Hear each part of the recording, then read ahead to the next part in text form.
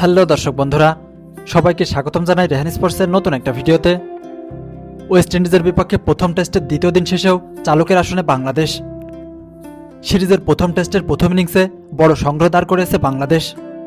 নিজেদের প্রথম ইনিংসে দুই হাফ সেঞ্চুরি এবং এক সেঞ্চুরির উপর ভর করে চারশো রান সংগ্রহ করেছে টাইগাররা।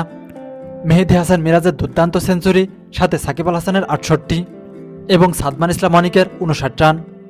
সব মিলিয়ে চারশো রানের বিশাল সংগ্রহ দাঁড় করিয়েছে টাইগাররা। জবাবে এই রান তাড়া করতে নেমে, ওয়েস্ট ইন্ডিজ ব্যাটিং করতে নামে দ্বিতীয় দিনের তৃতীয় সেশনে। তবে তাদের প্রথম ইনিংসটা ভালো করতে দেননি মুস্তাফিজুর রহমান। এই টাইগার পেসারের তাণ্ডবে দিশেহারা হয়ে পড়ে ওয়েস্ট ইন্ডিজের ব্যাটসম্যানরা।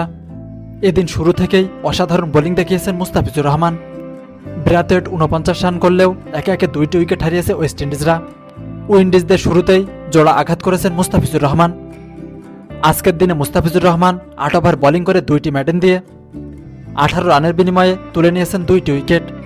টাইগারদের পাওয়া দুইটি উইকেটে পেয়েছেন কাটার মাস্টার। সঙ্গে টাইগারদের বাকি বোলারদের তাণ্ডবে এখনও তিনশো পঞ্চান্ন রানে পিছিয়ে রয়েছে উইন্ডিজরা। দ্বিতীয় দিন শেষেও এগিয়ে রয়েছে বাংলাদেশ। জানিয়ে রাখা ভালো, বাংলাদেশ দলের একমাত্র পেসার হিসেবে খেলছেন মুস্তাফিজুর রহমান। আর সেজন্য মুস্তাফিজের ওপর একটু বেশি চাওয়া রয়েছে বাংলাদেশের সমর্থকদের। আর সমর্থকদের চাওয়াটা পূরণও করে ফেলেছেন মুস্তাফিজুর রহমান। নিজের বোলিং ভেলকি দেখিয়ে ইতিমধ্যে দুইটি উইকেট তুলে নিয়েছেন কাটার মাস্টার। তো দর্শক বন্ধুরা, আজকের দিনে মুস্তাফিজুর রহমানের বোলিং আপনাদের কেমন লেগেছে? আপনাদের মূল্যবান মতামতটি অবশ্যই নিচের কমেন্ট বক্সে লিখবেন। আর ক্রিকেটের সব খবর সবার আগে পেতে চাইলে আমাদের চ্যানেলটিকে সাবস্ক্রাইব করবেন। পাশে থাকা বেল আইকনটি প্রেস করতে ভুলবেন না।